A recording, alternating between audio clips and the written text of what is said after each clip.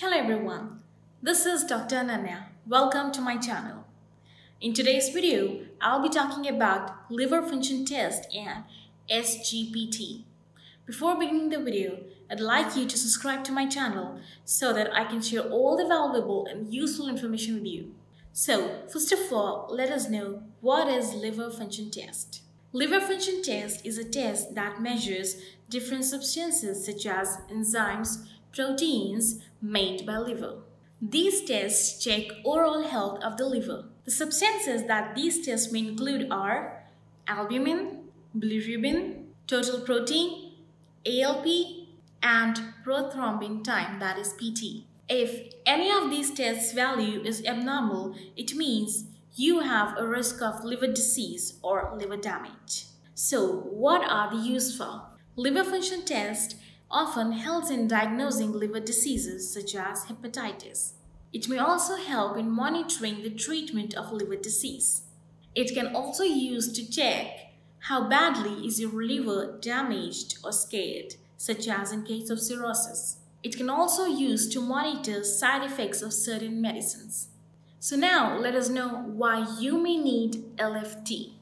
You may need LFT if you show any signs or symptoms of liver damage.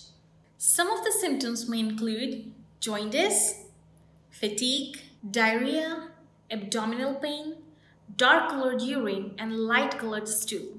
You may also need one if you have a family history of liver disease or you're exposed to hepatitis virus. So what happens during LFT? During LFT, a small amount of blood is withdrawn from the vein of your arm. The blood sample is then sent to the laboratory and the results come in a day or two, depending on the lab. So, do you need to prepare for this test? You may be required to fast for 10 to 12 hours, which means you can take this test early in the morning. So, are there any risks to the test? No, there are almost no risks to this test. So what do the results mean?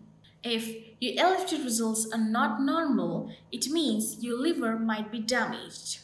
Liver damage can be caused by a number of conditions which include hepatitis A, hepatitis B, hepatitis C, alcohol abuse, and diabetes.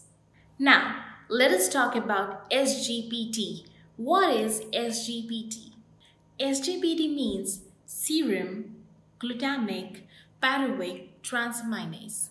This test is done to measure the level of GPT in the blood serum. GPT is an enzyme that is found in heart cells, kidney cells, and liver cells. SGPT test is needed regularly in order to keep your liver healthy. So, what does it mean if your SGPT level is high? SGPT is released in the blood if your heart or liver is damaged.